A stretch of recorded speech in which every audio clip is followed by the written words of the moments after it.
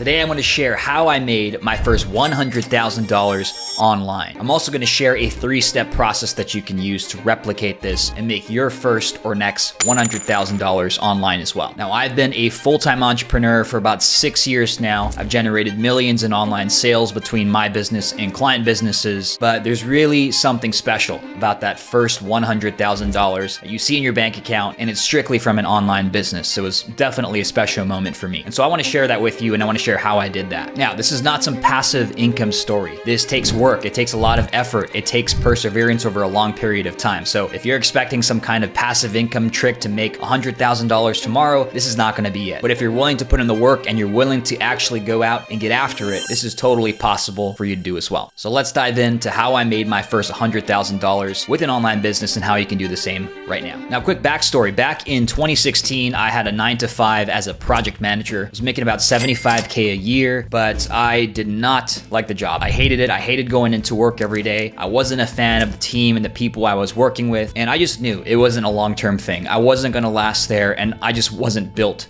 for a nine to five job, especially at that place at the company I was at. So while I was at that job, I would take a portion of my salary and use it to fund my online business. My first successful online business was actually an e-commerce business where I was selling physical products. The first product I sold was an Amazon FBA product. I had to buy 10,000 units up front. It actually sold out and it was a knockoff of a Yeti tumbler. And Yeti is a very well-known brand. You can type it into Amazon and Google. You can find the different products that they have but I have a couple of the products here. These are my first products I ever sold. And so the brand was called Blizzard, and I got a small version too. And this was my first ever online business, e-commerce business that was profitable. So I sold about 10,000 units of these tumblers, but the problem was I had to put a lot of money down up front and I had to wait two to three months for that inventory to ship to Amazon and be ready to be sold. So in the middle of those two to three months, I was just twiddling my thumbs and just waiting for the inventory to come. And I didn't like that. I did like the e-commerce industry though. I liked finding and selling physical products to people and making them happy. And so I wanted to stay in this industry and I found out about a model called dropshipping. Dropshipping is e-commerce, you're still selling physical products, but it was great because I didn't need to carry any inventory. I could find a product, I could be selling it within a few hours and be making sales and my supplier would ship the product directly to my customer. I didn't need to buy 10,000 units up front. So my only job was the marketing and sales portion. I would go out, create some advertising, sell the product, and my supplier would ship it out to my customer as soon as an order came in. So I really liked the dropshipping model and I started my first store and it was in the fashion niche and specifically the steampunk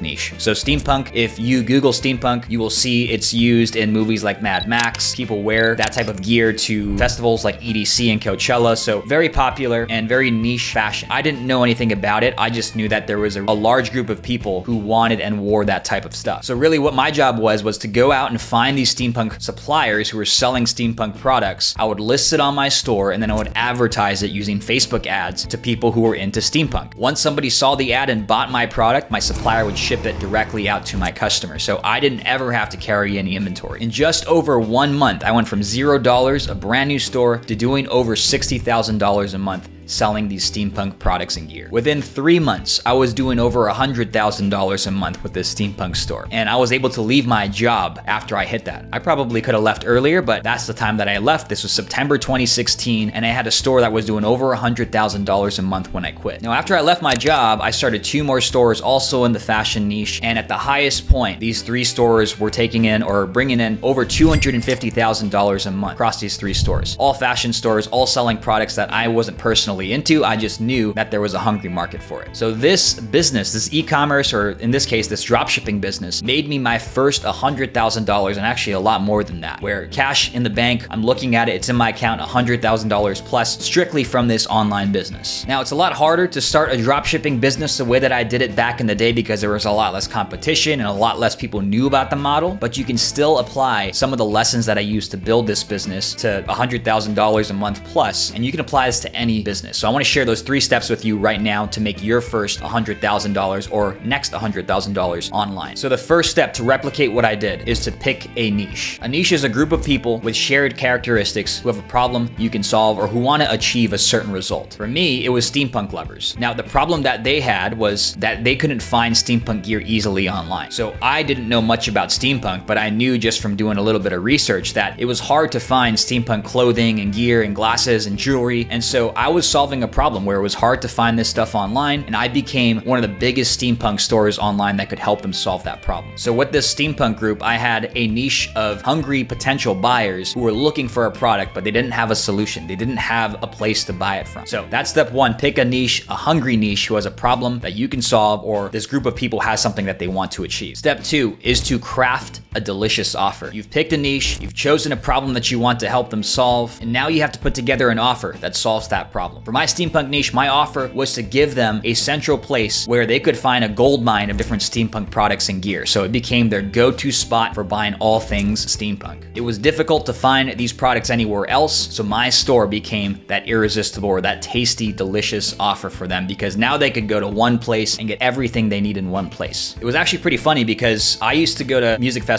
like Coachella and I would see people there wearing my products, wearing the sunglasses I was selling and the watches I was selling. And so at one point I went to Coachella in 2018 and I saw hundreds, if not thousands of people wearing the products that I was selling on my store, which was pretty awesome. Step three is to get traffic to your offer. Traffic in its simplest terms means people seeing your stuff. There are free traffic methods, which means you're not paying any money to get traffic, but it does take a bit more time and effort. And then there are paid traffic methods, which means you are paying money to speed up the process, but the downside is you are paying money. Now for this particular business, the steampunk e-commerce business, I just went straight into Facebook ads. And so that's a paid traffic method. I was paying for ad space on Facebook to show my products to people who are interested in steampunk. But nowadays, with how powerful social media is, I would highly recommend you start with free organic methods first to validate that people want your offer. And once it's selling, then you can speed it up with paid traffic methods like Facebook ads or YouTube ads or any type of ads where you're paying for. I think paid traffic methods are best once you've already proven that your offer is selling and you just want to add some fuel to the fire. So now you know how I made my first $100,000 online. I also gave you a simple three-step process I went through to do this so that you can generate your first or next $100,000 online with your business as well. And now I want to give you some actual valid business ideas that you can start for $100 or less to get your income up, to get your money up in 2023 and beyond. So there's going to be a link somewhere around this video on five online business ideas that you can start for $100 or less. And these are business models that are great to start right now. So click the link to watch, apply these three steps that you learn in this video to whatever business model you choose, and you'll be on your way to your first or next $100,000 online as well. Now, if you enjoyed this video, don't forget to hit the like and subscribe button, and I'll see you in the next video. Take it easy.